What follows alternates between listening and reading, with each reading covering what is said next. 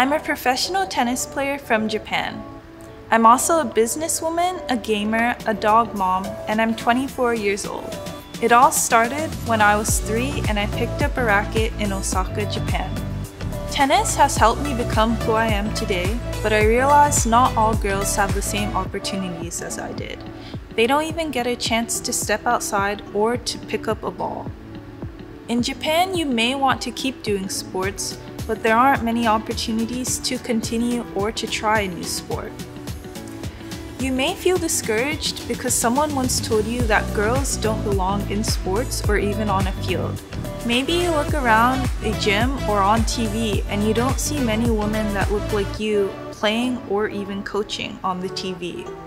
Play Academy is a way to change all that.